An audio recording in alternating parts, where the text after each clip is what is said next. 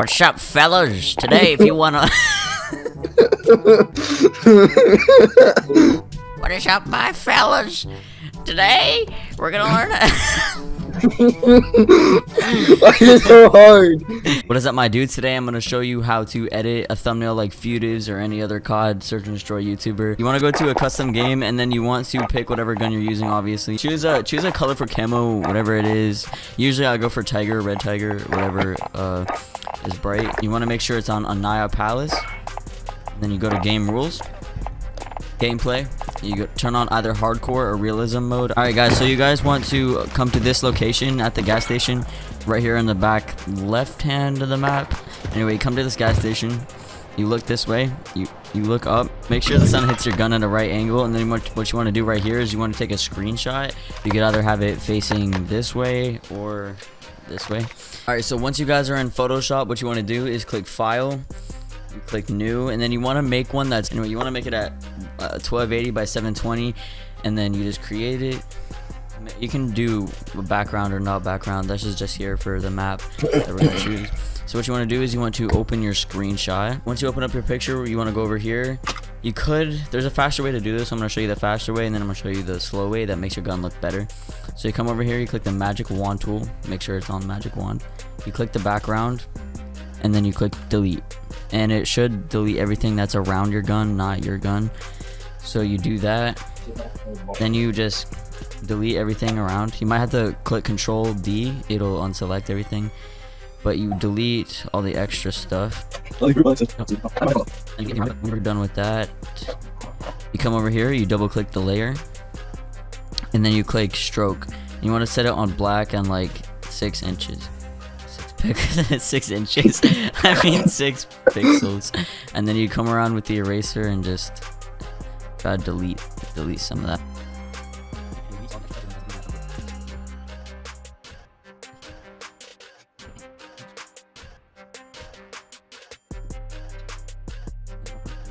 Wait, once you guys are done with that, after you select your gun, or after you erase everything on the gun, you want to go to Google Chrome and look up just any COD map that you want to use from the COD. And you take whatever you can come over here to your first page that you made. You put this in. What you want to do right now is you click this little bu bubble down here. Go to hue and saturation, and you want to turn the saturation to made to around 30. That's what I always do. 35, 30, 30 looks good right now. And then now you want to go to filter, you go to blur, you go to Gaussian blur or motion blur, I mean. And you turn it to, oh I, I put that on the wrong layer. Okay, so you go to filter, blur, motion blur, and then you put it on whatever distance you like. I usually put it up to around 30 also, like the saturation, but I'm probably gonna put a 33. Take your gun, drag it over. Want to resize it. The reason you make this filter is because you want the gun to be bigger than the actual picture, so it looks like that.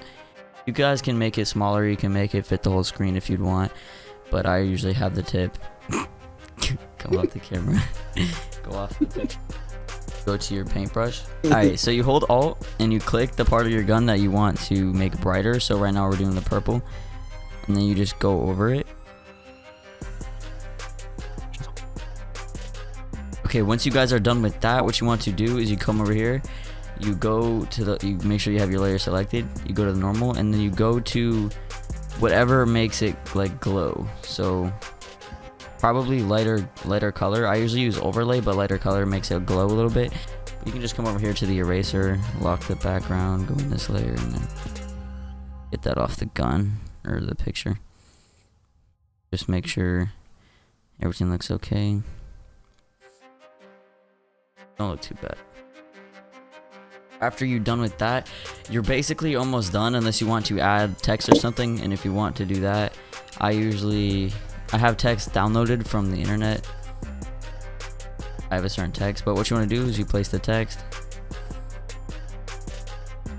And then you type out whatever you want for it. I'm just going to put thumbnail on it. I don't know why I'm just going to. Then you click over here, you resize it. You want to put it behind your gun though, so Gotham Medium, that's what I use. If you want to, you can just look that up and you can download it. Just make sure it's saved. And what you want to do is you want to double clap. Double clap! you, double click it. You can put stroke on it. There's also another way you can do it if you don't want to drag it behind it. You can put the, the words in front of it and then you go to the eraser. Oh, you gotta rasterize it first. You right click it, rasterize type, and then you just go like this. Oh, I obviously messed up right there, so I'm gonna not do that. And then you can just erase it like this. Sometimes it looks better like this because it creates that little effect on it, you know, like it, it looks like it's popping around the gun. Messed up right there, let me just... Sometimes, I, sometimes I would do it like this because it looks like it's popping around the gun. Also do it like that. I personally do it like that because I think it looks a little bit better. Come over here to the, you click the first thing and then you hold shift you click the first layer you right click and you flatten image so it becomes a background. And what you want to do is go to file export export as. And what you want to do here is you want to make sure that this right here is under 2 megabytes. If it's over it you can't upload it as a youtube thumbnail. So what you want to go over if you if it is over 2 megabytes you come over here you click smaller file 8-bit and then you just click export. Save it. Please and that is your tutorial. That's how you make a Futives style thumbnail. You can that. You can do whatever you want to be honest. It doesn't have to be the same background same gun.